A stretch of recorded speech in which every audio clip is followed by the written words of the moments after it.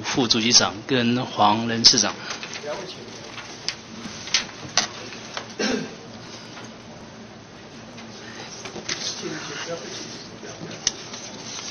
我先请教一下陆副主席长哈，针对你们报告，针对外交部所提，不管是四月十号的版本，或者四月三十号，针对房屋租这个房屋补助费标准的调整哈，你们都给予否定嘛哈？认为说这个衡量国家的财政问题，所以应该是要暂缓。那我想请教一下副主席长哈。针对四月十号或四月三十号的版本，基本上差异不大了哈。大概一年要增加国库多少的支出？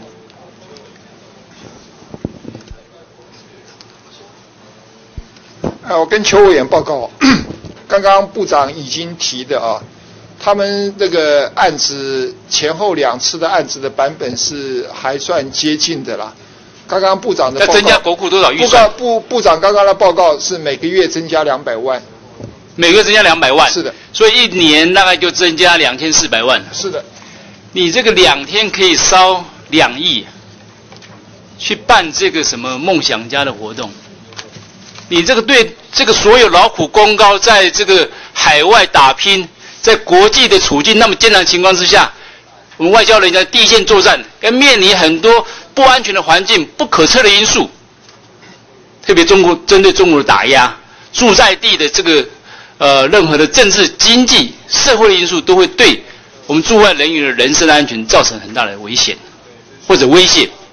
两千四百万预算，你们认为说国家财政问题的衡量的考量，所以决定要暂缓或战役？你觉得这样对得起我们所有的在场所有的驻外人员吗？副局长，你作为一个这财政的主管机关，你能够那么保守、那么的苛刻对我们驻外人员吗？我我跟邱邱委员再报告一下，那个呃驻外交人员驻外人员的房租的津贴，它是不是一个奉集法里面的规定的？它是一个其他的津贴。所以驻外人员不能用一般的公务人国内公务人员的标准来看嘛？国务公务员。国内的公务人员没有面临到国外那不可测或者不可测的这个因素跟风险嘛？是是是。所以要给他们一个安全的这个工作环境是必要性嘛？是是。那你们完全用这个公务人员的标准去衡量驻外人员的待遇跟这个津贴，我觉得这个太过迂腐，太贵守旧。不是我我要特别跟委员报告，他这是一个国家整体的一个考量了啊，国家整体的考量，因为他们的考量的方向不对嘛。工作有它的危险性嘛，它有它的强度，啊，你不能完全用国内的标准来看嘛，啊，你对这个军人，你对这个国防的人员，你对外交人员要不同的标准，你要确保他们的工作或者住在地的安全嘛，所以两次都打回票，本席觉得你们做法太过保守。那如果这个外交部再次再提出这个这个啊这个标准表，我希望哈，主席长。你要站在这个国家整体利益来考量，让我们驻外人员有一个安全的工作环境。两百万而已，哎，一年才两千四百万。梦想家两天可以烧两亿，你有说过什么话吗？为什么对我们这两次提的版本就是一再否决？这个理由哈，我不太能够接受。你不能再用这国内的标准，要衡量，你要一致性。我觉得这一致性的标准你用错了，你要考虑到工作的这个差异性，也有不同的补贴标准。来，黄，这个黄人人事长，同样的问题请教你，你也是持反对的意见嘛？呃，委员，这个我解释一下哈。刚才计算这个两千到三千万左右的钱哦，我我我不晓得是怎么算出来，因为我对数字不清楚。那你对数字不清楚，你们就就就持反对意见。这个。这个如果刚才那个提的新的版本只有九个单位，这九个单位计算出来也是两三千万呢。那用原来的这个四十四个跟四十七个，刚才计算的结果也是两三千万。主席，我请那个不晓得杨部长，我就不晓得这个。刚才那九个没有两三千万，已经说了是三十万嘛。三十一年一年。每个每个月三十万了，已经讲很清那那楚了。个都没有黄人长，你来做报告，你对这个到底要花多少钱，你都不了解，你就你就把它打回票。我知道，因为版本不太一样。这个这个部分刚才讲的是三十万九个，九个如果三十万的话，刚才数字就不同。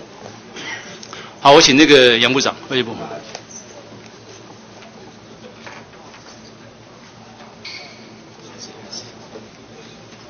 是就位部长，你认为现在哈、我们驻外人员的哈、的待遇比较起亚洲四小龙所得相当的国家，比方说南韩、新加坡哈、你觉得我们驻外人员的待遇跟其他国家比较起来是偏低还是偏高？应该是偏低吧，偏低，偏低。低到什么程度？看看，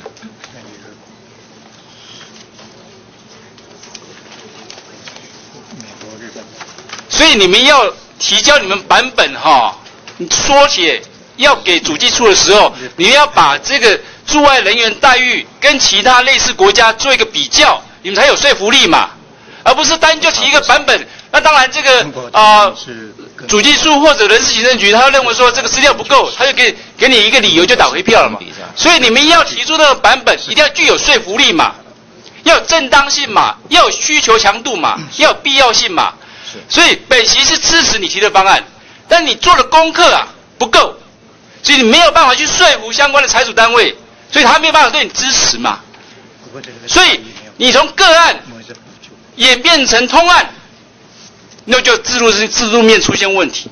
你制度面出现问题，本席支持要马上去做调整，做做一些修正。但你作为一个外交部部长，你针对你的部署要应当要这个竭尽所能去照顾他嘛。好，我体会你有这个用心，但相关的幕僚你要提送这个啊、这个标准表去给相关财务单位的时候，要做功课啊，要把相关单位要把相关国家的这个待遇跟他们这个房屋津贴补助标准也做个比较，明显是偏低，所以才造成所谓这个驻外人员的人身安全嘛。是委员，这个谢谢你的指教哦。这一部分我们会来补强有关这个我们跟邻近国家对外这个驻外人员的这个待遇的这个比较表。所以目前的关键就是财主单位不支持嘛。现在对的，主要就是我们也考虑到了哈、过去这些年来啊，有关这个房租补助这一部分的哈、已经造成一些困难，就是说它没有调整以后造成一些困难。所谓困难就是同仁住的环境以及他们区域，这些我都了解哈，所以我才会站在支持你的立场。谢谢。好，就是你要在处理这个事情，你要更积极，去为你的同仁争取更多、更更合理的待遇跟条件嘛。了解，好我我也跟委员报告了哈，这个外交部是政府整体的一部分啊，我也不能说是忽略了整个国家整个财政，我想我也很清楚，目前你今天不是两亿哈，一下增加两亿，我可能会所以我们会很务，但才实的两千多万，对，我们会很务实的哈，再跟这个人事行政总处以及主计总处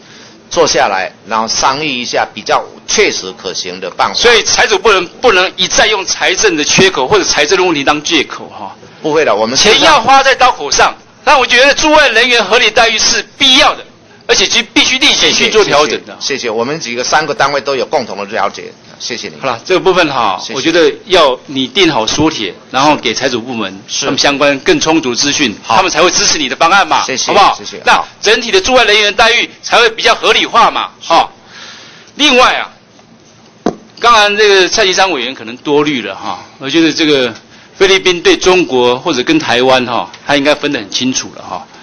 我一直强调啊，这个南海主权的问题，在国内当然是一个严肃的议题啊。但是在国外，在国际场合，不管是双边或者多边，或者是国际组织，都是一个虚的议题，都是一个务虚的议题，都是一个口号的问题。是不是？还那其他两位可以先回座。所以台湾在面对南海主权问题，我们可以在立法院这个啊、这个大声的这抗议或者大声表达我们的立场，但在国际场合，不管是双边或者多边，南海作为南海行为准则，或者是的这个 AIF 相关的国际的组织，我们是 outsider 嘛，我们不是 player 嘛。所以蔡其昌委员，我觉得他担心太多了。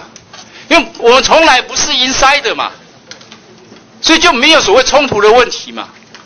那我忧心的是说，我们针对南海主权的问题或者钓鱼台这个主权的问题，我们如果一直在保持这种 outside 的状况，在国内可以这个啊发表很多这个义正言辞的言论，但在国际场合完全没有声音，也没有其他的这个啊牵涉到相关的国家愿意跟你讨论这些问题。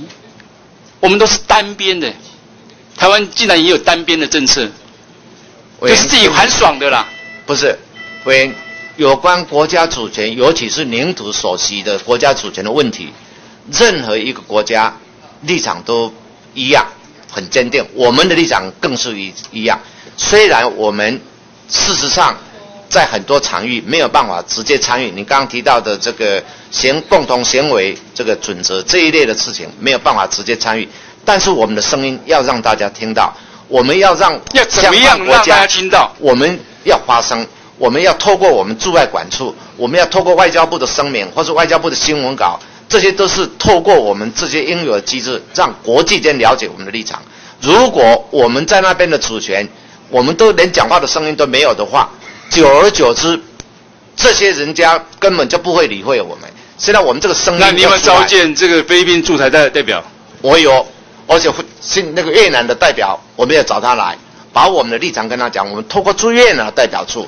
这种黄代表是跟他们的政府去交涉，菲律宾同样的情形，我们也同样找找找他们来，把我们的立场跟他们讲，这些都是我们外交部做而且继续在做的事情，我们不能够让我们的权利睡着。可是我们在国际场的声音几乎是微弱到听不到，然后人家也不让你参与，那你要怎么去突破呢？你们你没有办法参与，你不是 inside 的，你就没有办法去制定这个游戏规则或参与这个游戏规则的调整或改变。我们因为国际整个情势、国际现实的问题，事实上确实很多机制没有办法参加。但是我们也透过不同的方式，包括二轨的方式，跟当地相关的国家的这个学者专家一轨办的方式来进行探讨，把我们的声音借由这种机制传达出去，并不是说完全都没有参与的这个机会。